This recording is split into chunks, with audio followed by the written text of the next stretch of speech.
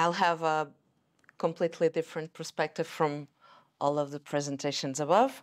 Uh, I work as an archaeologist and um, archaeological illustrator since 2004. Um, I worked as a researcher as well, uh, mostly in post-medieval uh, themes.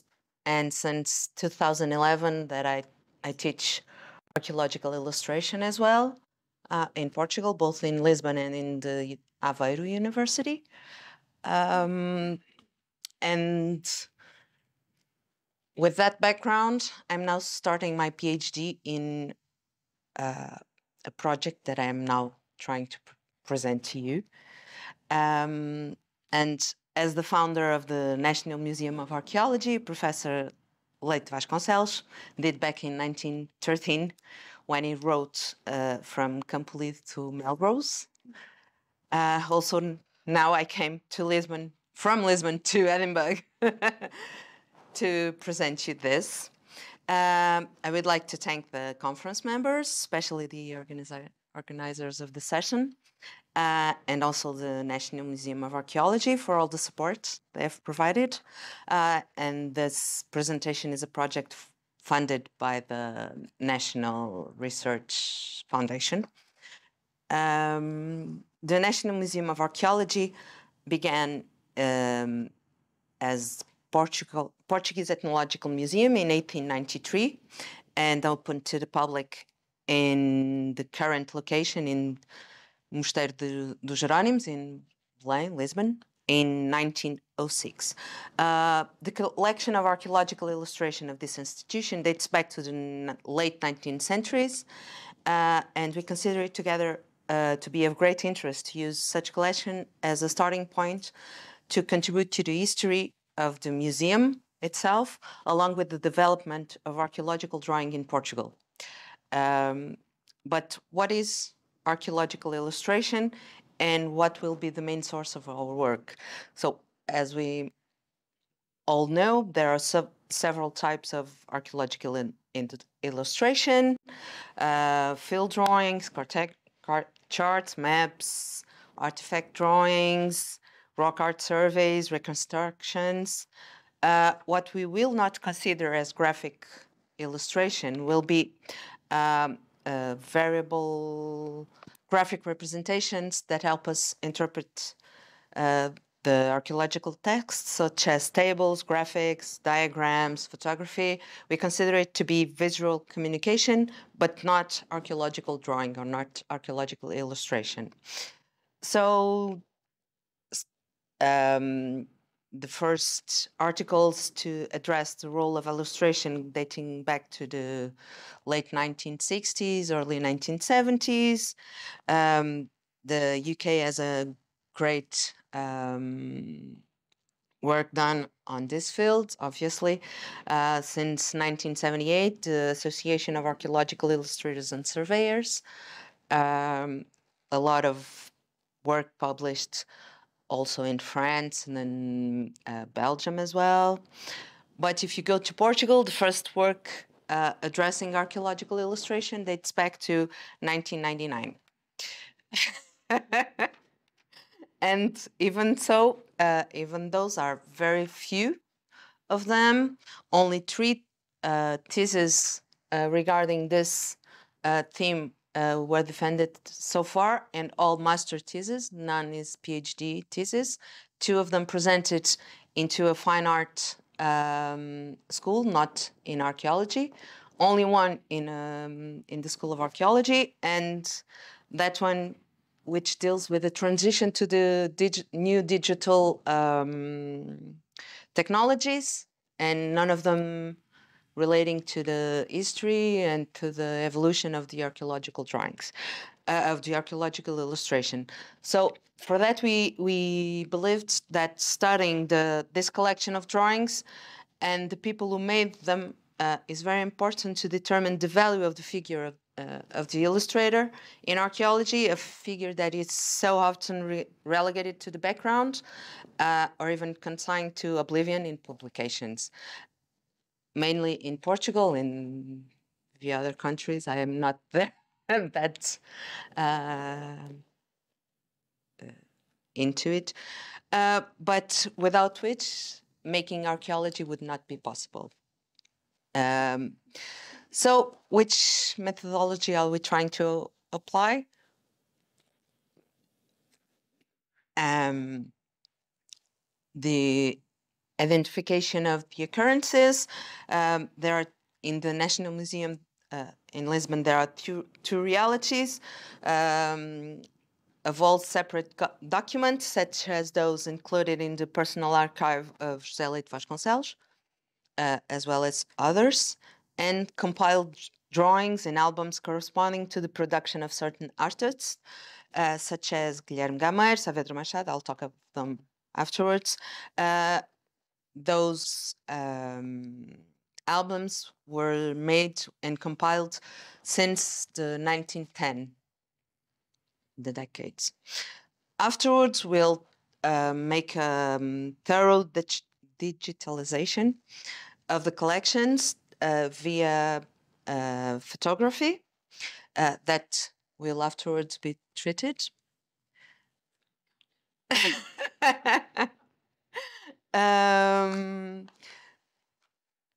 so uh, the the first one is the photography that was collected. Afterwards, they all have the same scale and same presentation. Uh, description according to several parameters we decided to be uh, interesting and needed for our uh, research. Uh, wait, sorry. Afterwards, we tried to make the biography of the drawing. So we have the drawing itself.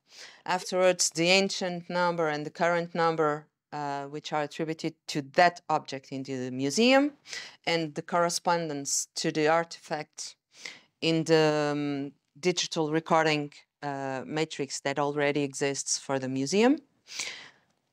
Uh, here we can see one of the drawings, the ancient number, and through that we can uh, find the sorry the original certificate of, of, incorporation in the museum from the early 19th century.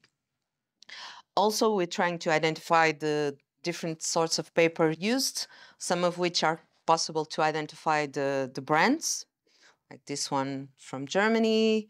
Uh, those are Portuguese, different ones afterwards trying to uh, draft the biography of the authors. So far, until the fifth, the decade of the uh, 1950s, we have already um, gathered those uh, illustrators, some of those artworks. Jorge who worked from 1902 to 1903. He mainly worked with, uh, sorry, uh, like the goose Quill. Fe- uh, feather? Quill. Yeah, quill. Okay, sorry. uh, and um, Indian ink. Yeah. Another one, Guilherme Gameiro, worked from 1903 to 1909 when he left the service due to mental illness, which he, of which he, he then died in the Lisbon asylum.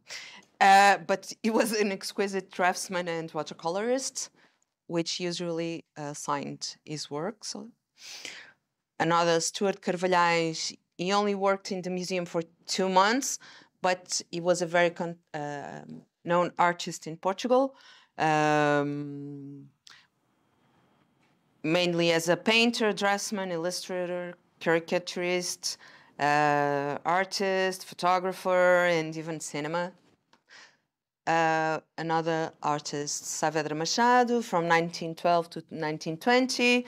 Uh, also, uh, he had a course of Fine Art uh, Academy. He was a painter, sculptor, poet, playwright, uh, wrote for several magazines. Uh, he was a director of art magazines, organized exhibitions, and he there's this magnificent um, frame uh, that was brought to with uh, watercolors of uh, pieces of the museum that was um, brought to Rio de Janeiro to the national to the international exhibition of uh, 1922-23, and from which he gained, uh, he was awarded with a silver medal uh, for the representations.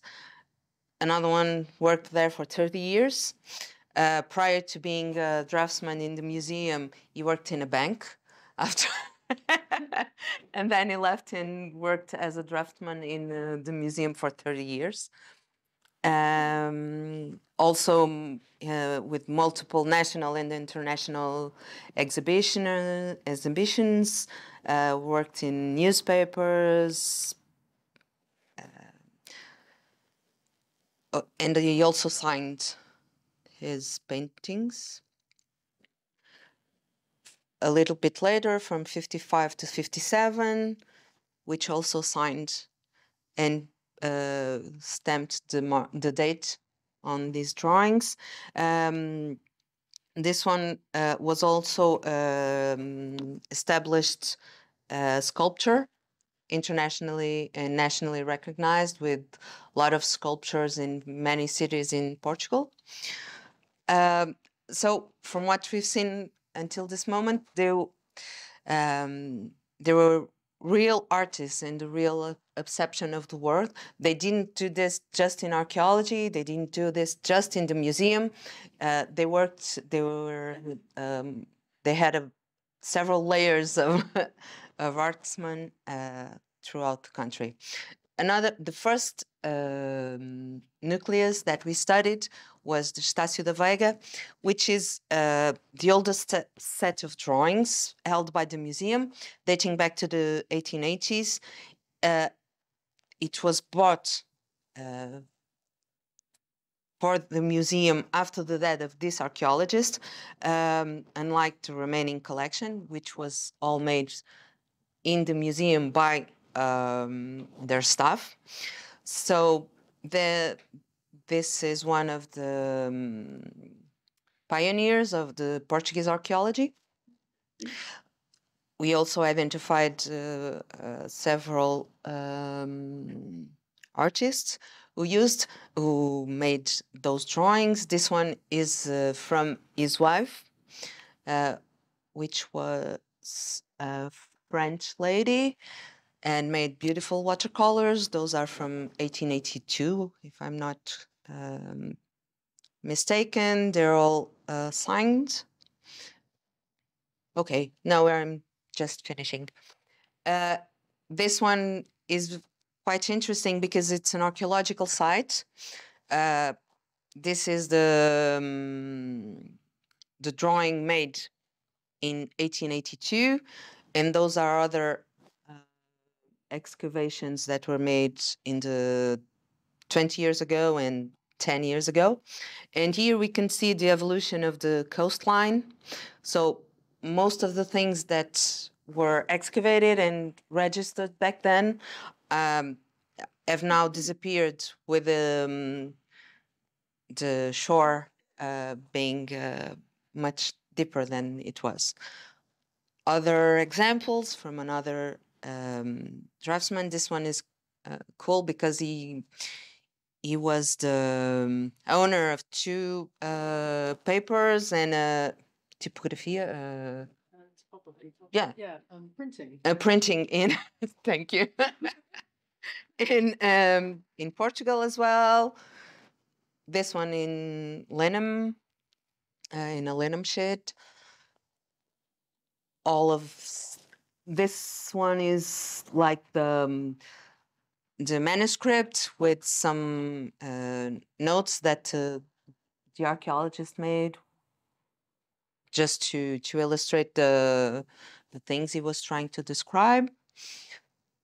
And through this uh, nucleus we already could make some assumptions uh, that were already synthesized, like the authors, type of sports, the execution techniques, uh, the quality, so is final art, sketch, preparatory work, type of design, mentioned dates, archaeological sites, historical period, um, and some of the problematics that we hope to uh, find some answers when we can finish our work which is only in the beginning.